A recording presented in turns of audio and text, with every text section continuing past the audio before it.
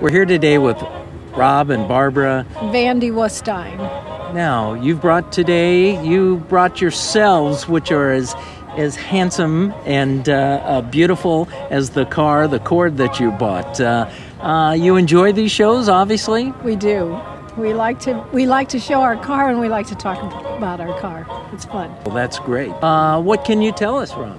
Well, we bought uh, the Cord. It's an 810 Phaeton, which means a convertible with a back seat, uh, about 16 years ago.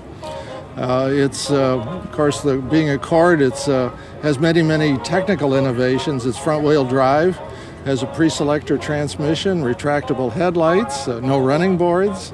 was a unit body construction, and they cleverly hid the radio antenna underneath the car so it didn't interfere with the lines of the car.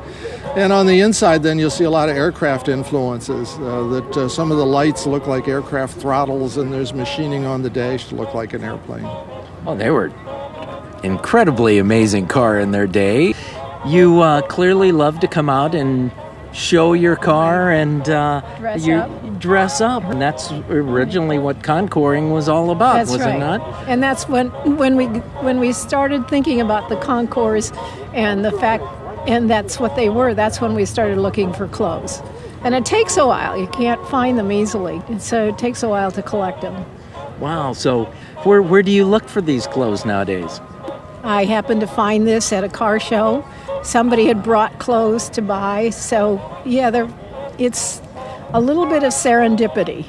Do you show your car often? How far do you venture from home to, to show your car? Well, we came from Durham, North Carolina this time, so it was a little over 500 miles.